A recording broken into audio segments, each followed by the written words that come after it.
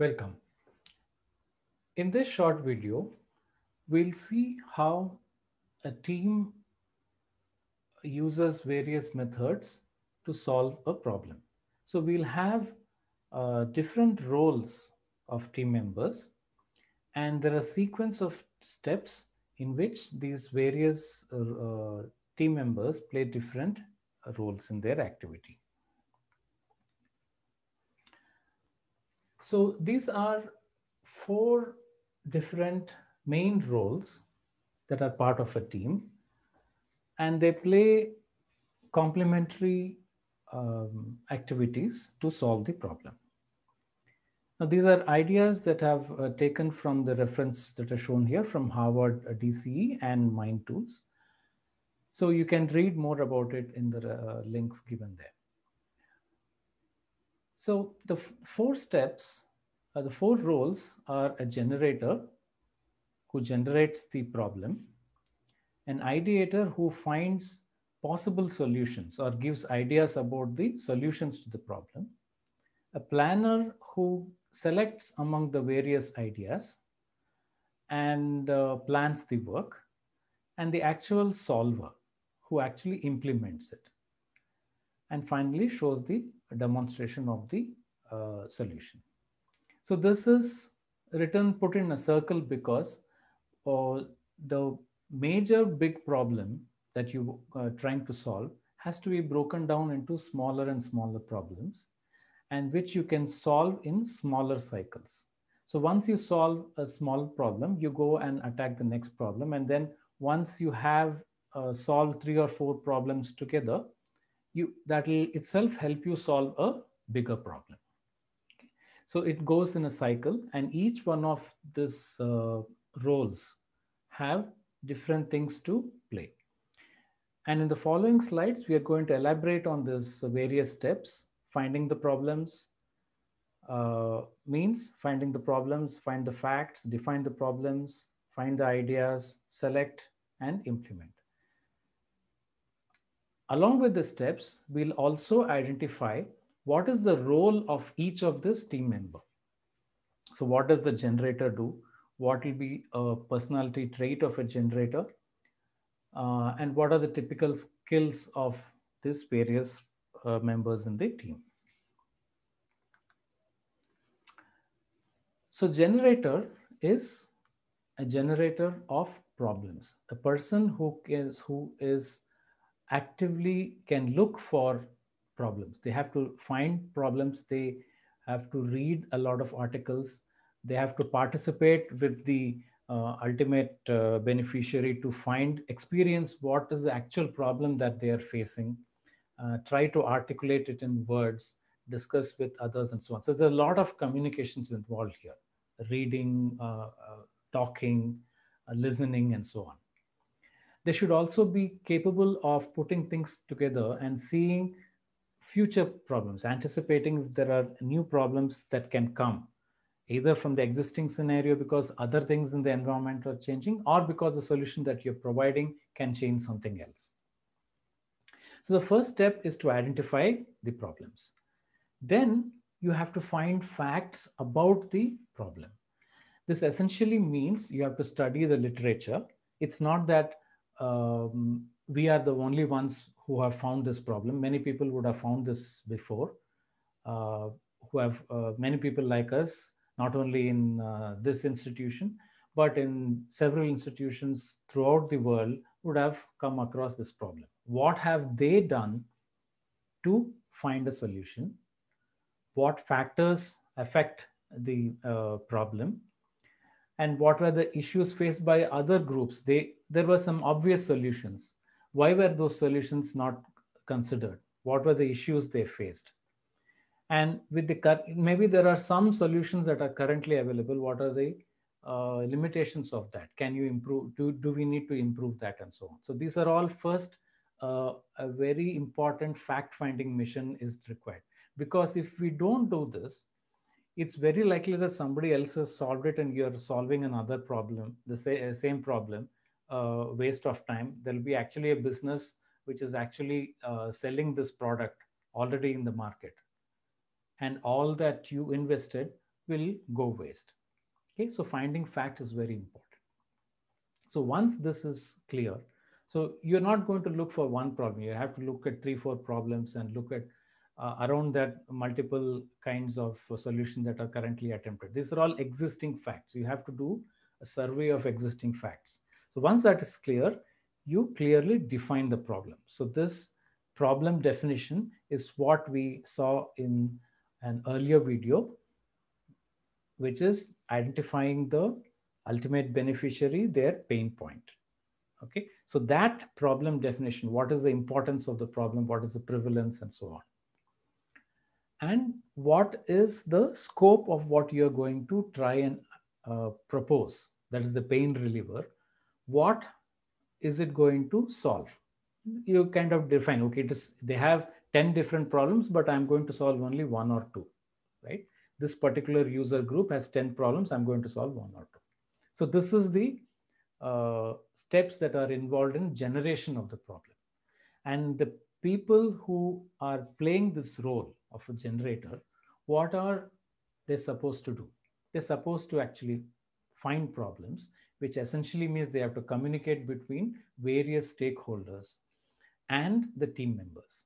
So the generator of the problem has to be a very good communicator. So they have to be able to listen to people, they have to be able to participate with them, they have to be able to talk to team members, they have to be able to empathize with uh, uh, your customer uh, by participating in what they're actually doing and then feeling not only feeling uh, their uh, mental difficulty but also say physical or labor labor oriented difficulties and so on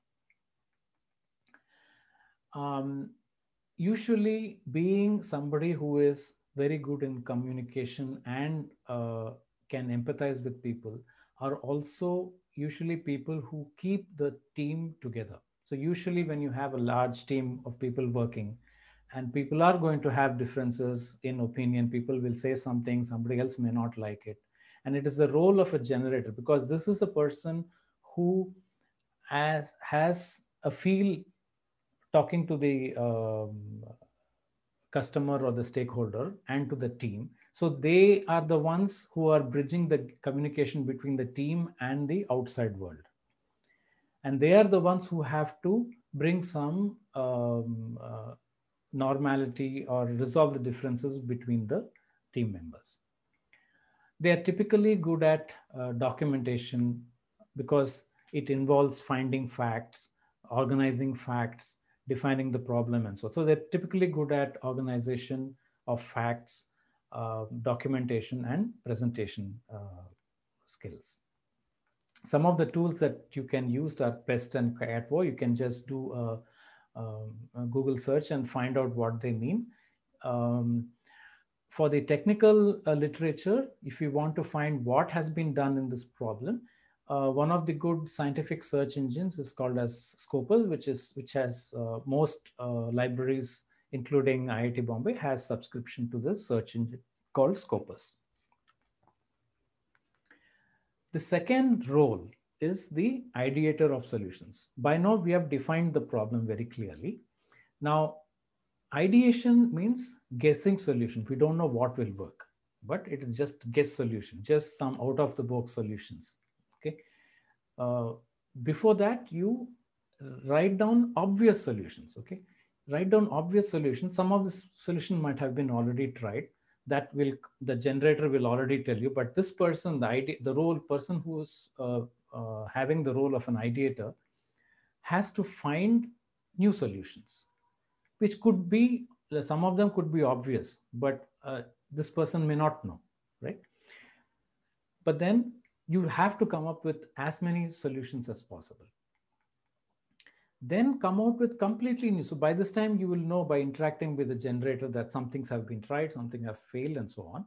And then you come up with completely uh, creative out of the box solutions and present it to the entire team and get it validated by not only the um, uh, generator who knows the literature or the existing solutions, but also other people in the solutions who are more practical, who know something will work and something will not. So what is the role of an ideator? Comes up with tons of crazy ideas. mean, it need not be practical. Many of them may not be uh, uh, working at all, but the whole thing is they are very creative and uh, they come up with very novel ideas. So if you have some uh, uh, talent towards coming up with new ideas, you might want to uh, be an ideator of solutions in the team. They're typically good at drawing, arts, or abstract thinking. Uh, some of the tools that they can use are uh, solid modeling tools. So think, suppose you, you are thinking of a product which is uh, solid and you want to model it. So if you're uh, okay with modeling in actual material, you can go to a lab and fabricate it. Otherwise, you can also use solid modeling tools like Blender and FreeCAD to generate your ideas.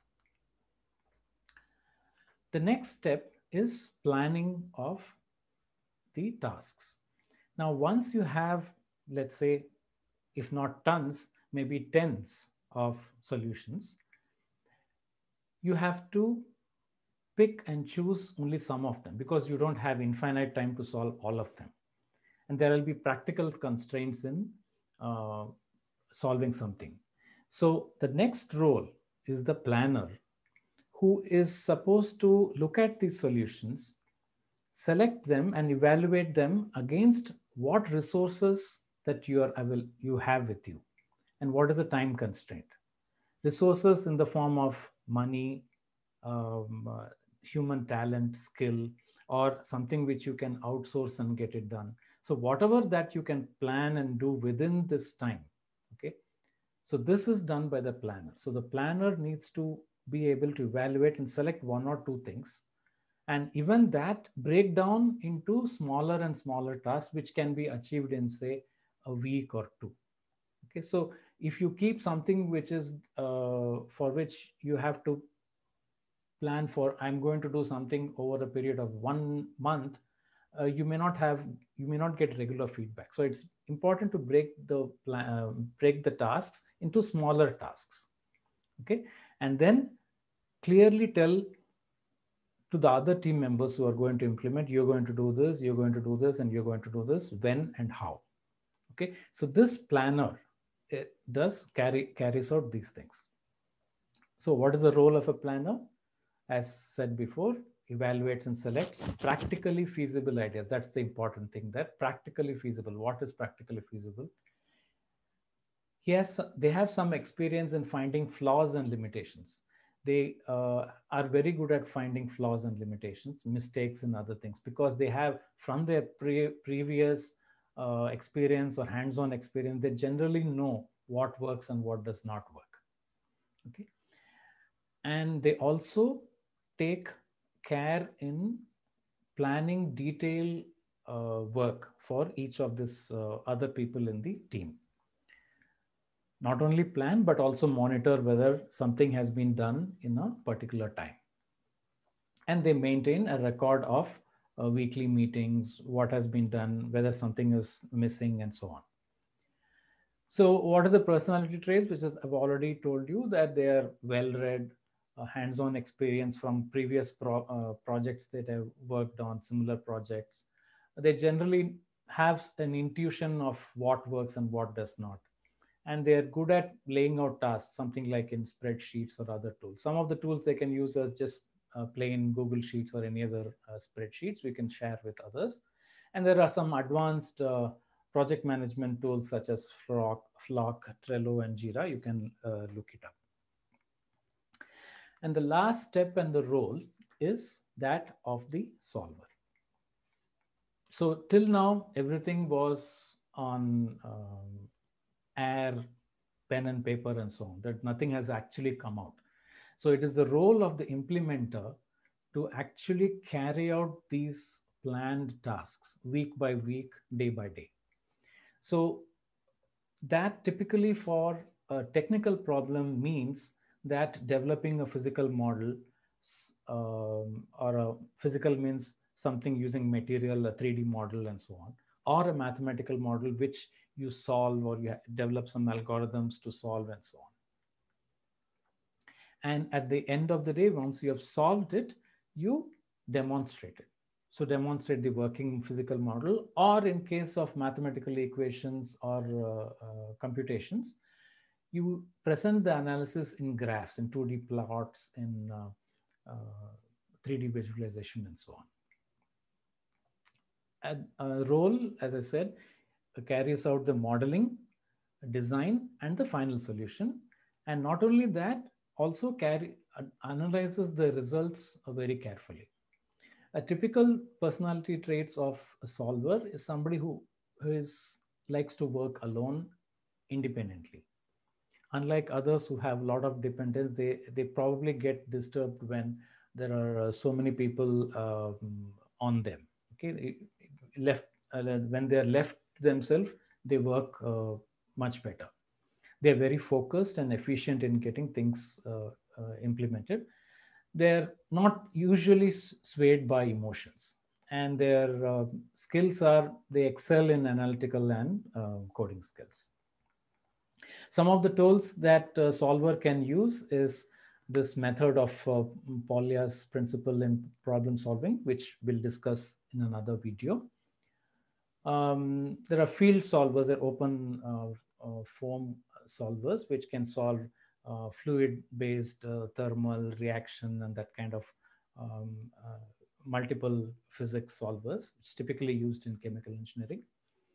And they're also able to, you can use this um, analysis tool for graphical analysis called as ParaView. Thank you.